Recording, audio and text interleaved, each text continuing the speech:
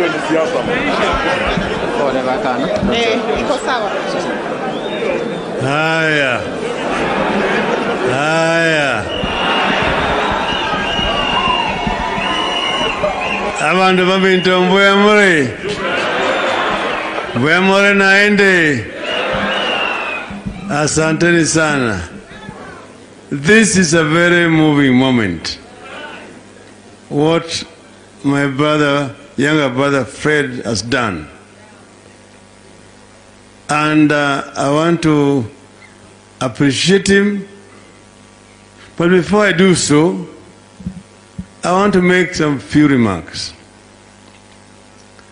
First, I'm very grateful to be here today. And I always feel very much at home here. Because these are my people. They always vote for me.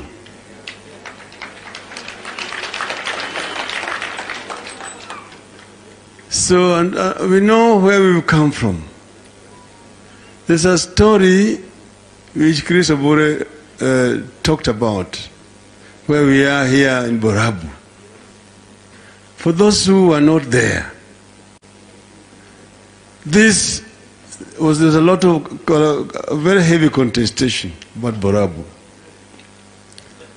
Because as you know, once upon a time, Nyanza started from Mount Elgon to Kilgoris. But in 1963, because of Majimbo boundary, Nyanza was dismembered. Uh, North Nyanza became what is now today Western Province because they were in Kadu. Kericho was part of then Greater South Nyanza uh, district, headquartered Kisi town. Then later on, Kirinji became a district, but in Nyanza. But in 1963, because they were in Kadu, they were being moved from Nyanza to the Rift Valley. And the border became contentious because, and this is the border, this was a settlement area. And they insisted that the whole tea plantation should go with the carriage on that side. If you read the 1963 Boundary Commission report, you'll find that. Jaramogi said, no, this must remain in Nyanza. And he was telling us later that they walked on foot up to the, where the border is today.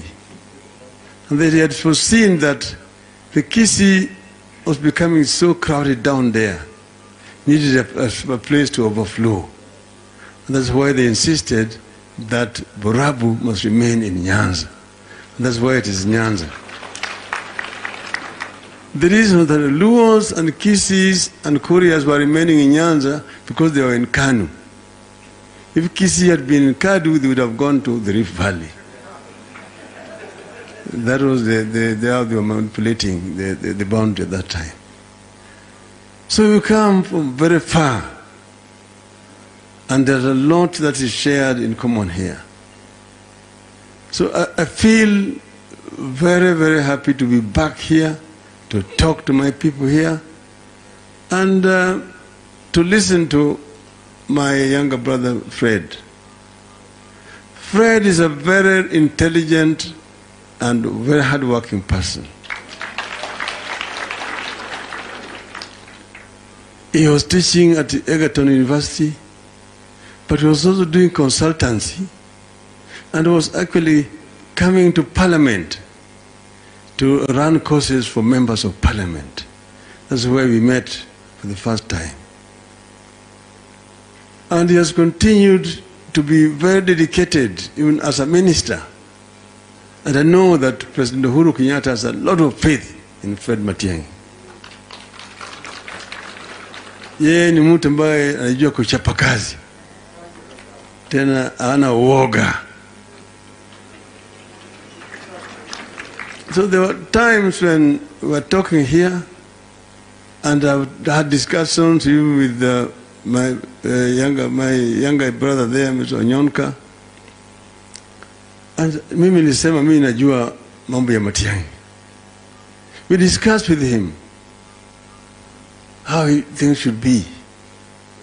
And at one time I said, I'm ready to support Fred Matiang'i.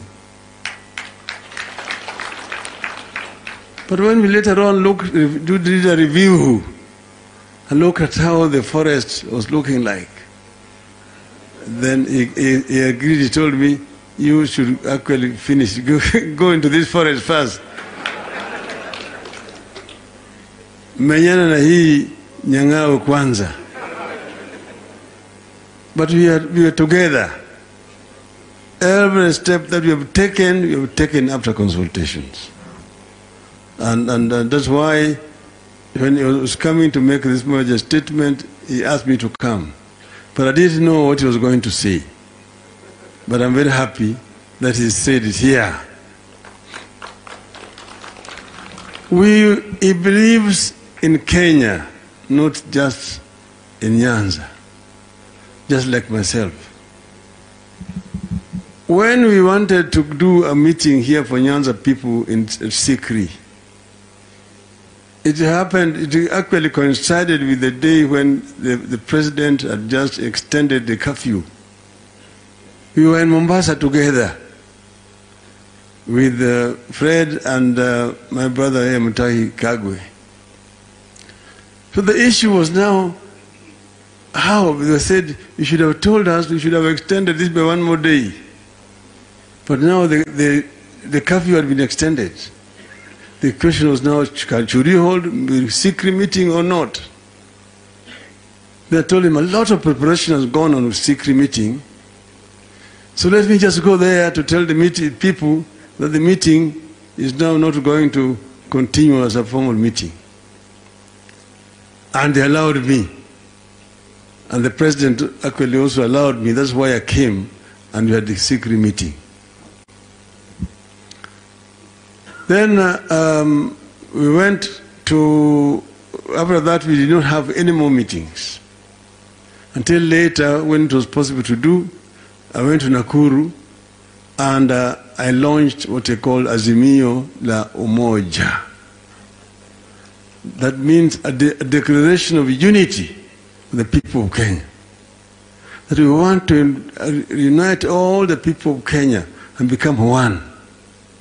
As the founding fathers of our nation wanted, which you find in our national anthem, ambayo Lord bless this land of ours, justice be our shield and defender, may we dwell in unity, peace and liberty, plenty be found within our borders.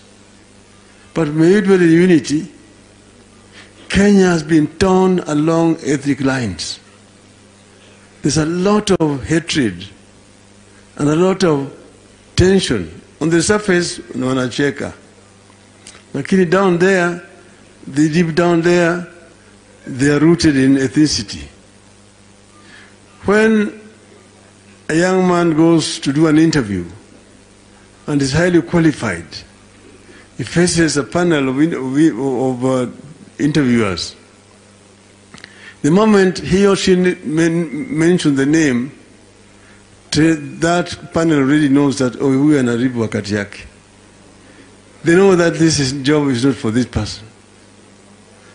So you are denied or given a job on the basis of your ethnicity, not on the basis of your qualification. This you must end so that merit becomes the basis of appointment and promotion in civil service. It is doable, but it's not doable when you have got people who believe in what you believe in. And that's why I'm saying we are going to work together. We need to unite the people country because this country has got a big, a great potential.